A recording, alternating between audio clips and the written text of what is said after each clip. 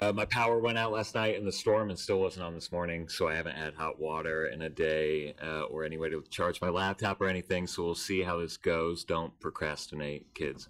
Uh, my name is. My name is Graham Brown. Uh, I live here in Indianapolis. I own a clothing company called United State of Indiana that makes apparel and gifts that feature designs that celebrate Indiana. If that's your thing, look us up, please. Uh, I also own a custom screen printing company called United State Print Co. If you need shirts printed, please, please, please hit me up. The people in this room are fun to do small projects like a t shirt with. And you guys also know what vector files are, which makes my life easier for sure. So I'm happy to work with you anytime. Uh, but I want to talk about something different today. Uh, I want to talk about three things that we can all do to be better designers. First, get more sleep. Second, eat better. And third, play more video games. I'm actually fucking with you because I know nothing about the first two points, and we will be talking only about video games. Uh, how many people in the room play video games a lot? How many play games sometimes? And how many don't play video games really ever at all? Uh, so for the past couple years, I've spent a lot of my spare time playing video games, but also studying game design, development, and the video game industry. And I think that it's a really underrated source of inspiration for designers outside the game space. You might lump it in with other forms of couch entertainment, so movies, TV, even books, and you should do that, but games are different. Those other mediums implore their audience to think and feel things Games make the addition of asking the audience to do things and to solve problems. Games also adapt way faster than any other entertainment, any other entertainment. So games were on the internet way before TV and movies. They were on our computers. They were on our phones. All the defining devices of how we design in 2019, games were there first. You are the people designing the world around us and video games have already blazed some trails that I think at work you're at the precipice of um, as we learn what it means to deal with faster and faster technology cycles, as things become more and more interactive, and as basically everything has a screen put on it. Video games, whatever that means, video games have been doing that since they were born. Like that is the video game equation. So there's going to be a lot to learn. I think within five years, every job title in this room will be drawing heavy inspiration from the work of game designers. I don't want you to be scrambling to catch up, so I think you should start playing games now and see how it shapes you in the work you do.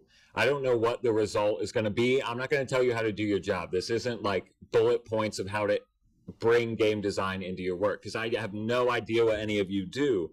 But I am confident that having a familiarity and a vocabulary vocabulary of game design will help you in some way craft a unique um, identity for yourself as a designer in whatever field you're in. Um, so, a few caveats before we get started. First, I believe what I'm saying is important. I grew up playing video games and I also grew up watching pro wrestling.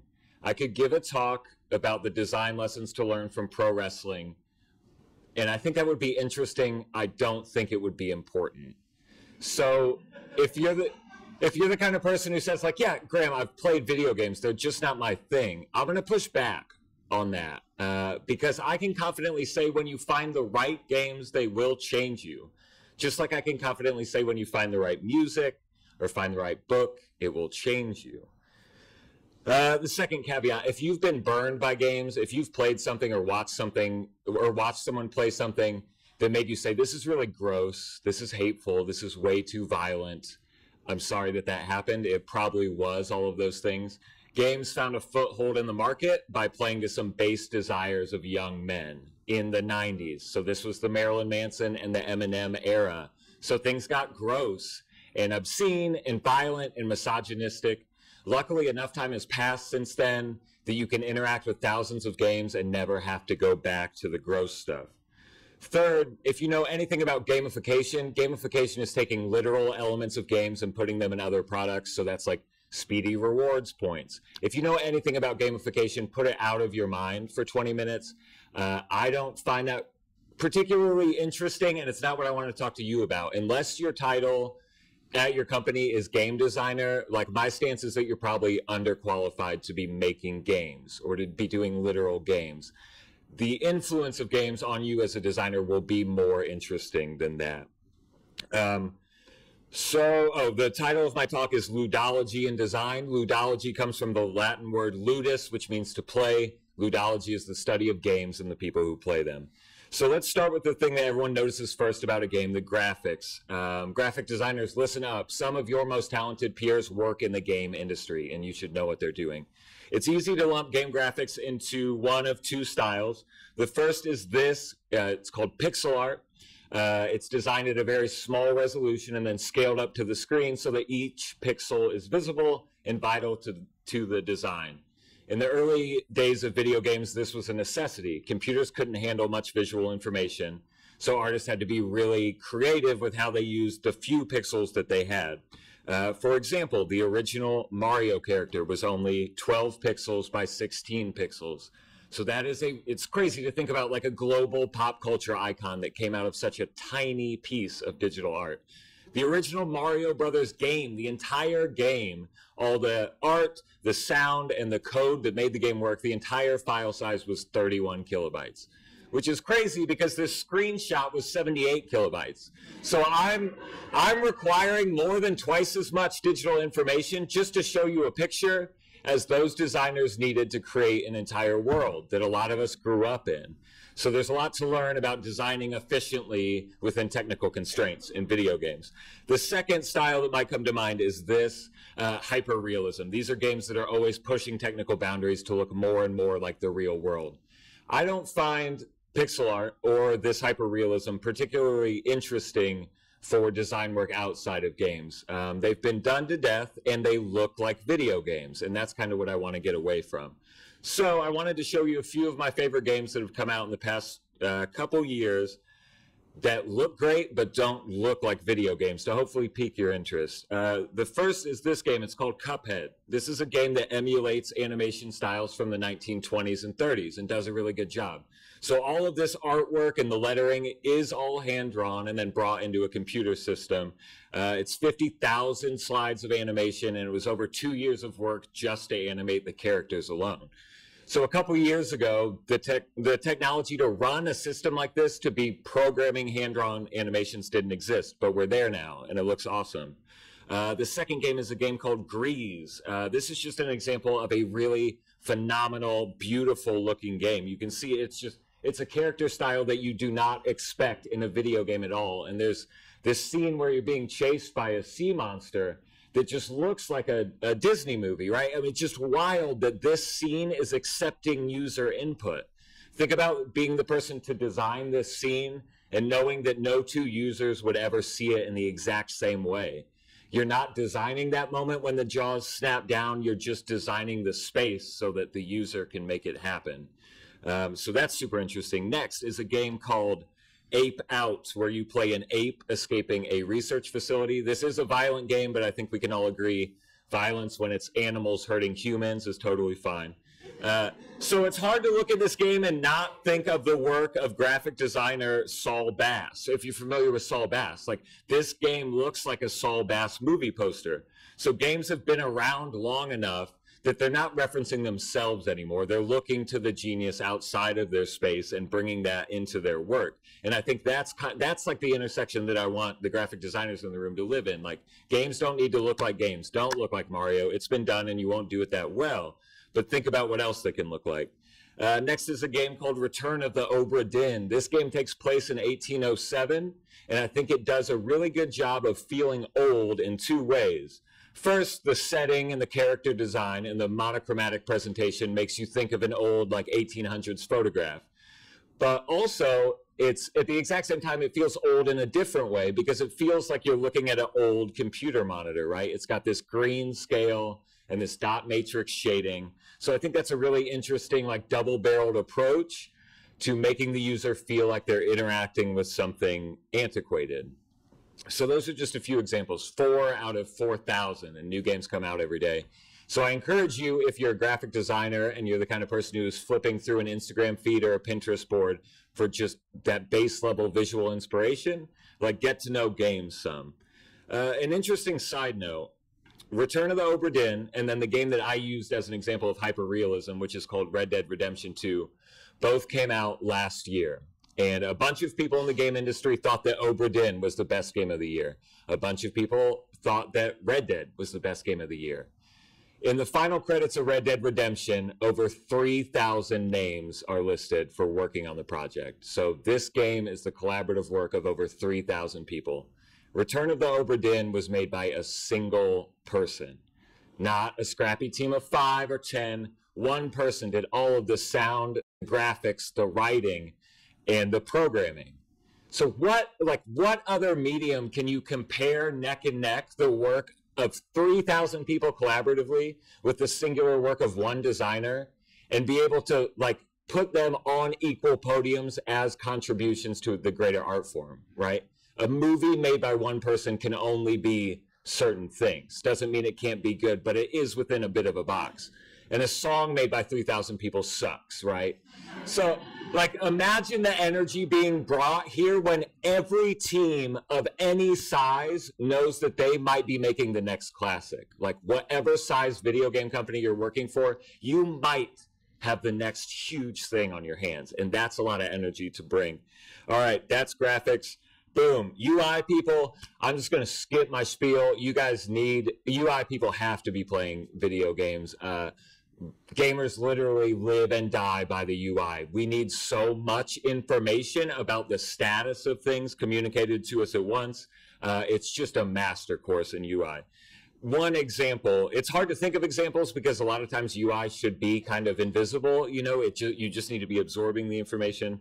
Um, so this is a game called uh, Call of Duty Black Ops 4 that I play a lot. So I just took a screenshot, and you can see from a non-gamer, it's kind of hard to tell what's what even is going on. Um, the uh, there's a gun, obviously. Does that mean I have five minutes left? That sign. All right, you guys are going to get abridged here. Uh, so all around the edge of the screen, I can tell exactly what's going on. Um, at, at this moment in the game. There's so much information from my health to where I am on the map to how many people I've killed, how many people are left alive, how many bullets I have, do I have a backpack, what power ups do I have? How much health do I have? Do I have armor? I can absorb all of that as someone familiar with this UI, almost instantly and then get my mind back to what the game wants me to think about, which is where is that dead guy's partner? Because he's probably in this house somewhere and I need to find him. All right, so that's UI, UX, and interaction. Luckily for you, video games exist for no other purpose other than user experience. Every game you encounter will be a case study. Uh, um, skip it. Uh, remove. So those are obvious parallels. And if you have specific jobs that you're wondering how video games could intersect with them, please um, talk to me and I can try to draw some more parallels for you. I want to talk about concepts that aren't as obvious. Uh, the first one being difficulty. For a lot of designers, difficulty is a challenge to get over, right? A barrier that you want to overcome for the user. You want things to be effortless and painless. For game designers, difficulty is an integral part of the overall equation, and they have to build this well-designed stair step of challenge to keep the user engaged. If the if every level of Mario was as hard as the first one, you would either bounce off at the beginning or you would get bored and leave. Um, so there, uh, there's when you dig into game designs, you will find the you will find the Aaron Draplins, you will find uh, the Michael Bieruts, you will find the people who you say like, oh, I just really like how that guy's or girl's brain works. Um, and a person that does that for me is a designer named Bennett Foddy. Bennett Foddy made a game where you play as a man sitting in a cauldron holding a pickaxe. And the only thing you can do in the game is use the pickaxe as leverage to try to hoist yourself up a mountain. Bennett, and it's impossible. Bennett Foddy is notorious for taking that idea of difficulty and really like fucking it up and making it very hard. So he made a game trailer uh, that for this game, Getting Over It, that I think describes his philosophy well, and it's really interesting. So I will play some of it because we're low on time. Let's see. Okay, there's not going to be sound, so I will have to narrate it uh, for Bennett Foddy, which is really an injustice. But I will, but I'll take this bullet. Why did I make this? this horrible hike up an impossible mountain, I could have made something you would have liked. A game that was empowering, that would save your progress, and inch you steadily forward. Since success is delicious, that would have been wise. Instead, I must confess, this isn't nice. It tastes of bitterness, it's capricious, it sets setbacks for the ambitious. It lacks lenience, it's bracing and inhumane. But not everyone is the same. I created this game for a certain kind of person, to hurt them. and it's really like, I, I would love for all of us as designers to take on one project where we said, I want to make this project incredibly frustrating to interact with and see what we learned in the process. Because uh, I think that's really interesting. Um, boom. Mario Kart as a really good example that I'm going to cover really quickly of how it uses a design decision based around difficulty. If you know Mario Kart, uh, it's a racing game where you pick up items uh, along the way that either make you go faster or make your opponents go slower. The farther you fall behind in the race, the more powerful and helpful the items become. The farther ahead you get, the less powerful and helpful they become. This is a concept called rubber banding. Um, because just like a rubber band, the farther apart the group pulls, the stronger the force is, bringing them back into the most fun and exciting equilibrium.